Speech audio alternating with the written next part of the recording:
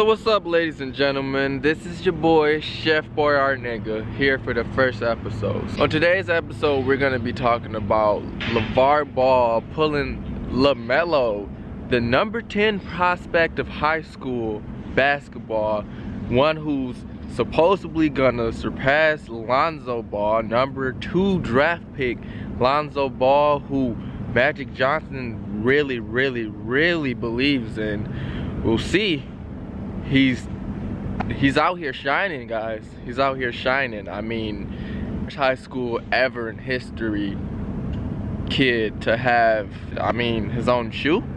It's crazy. It's absolutely freaking nuts.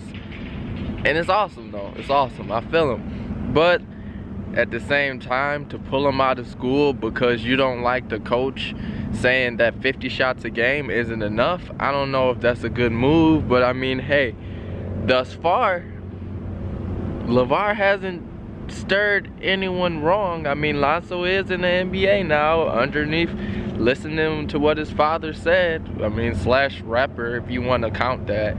Um, on top of that, I mean, Gelo, I'm no hate, no hate. Gelo's a great player.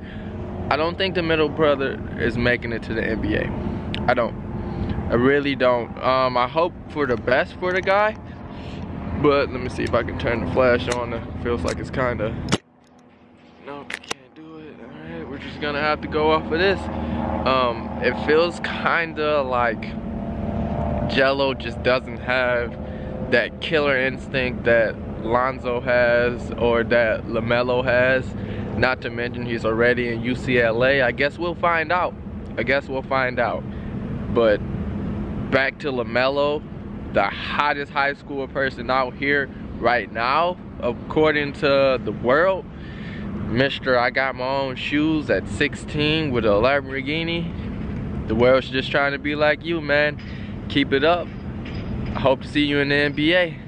This is Chef Boy, our nigga.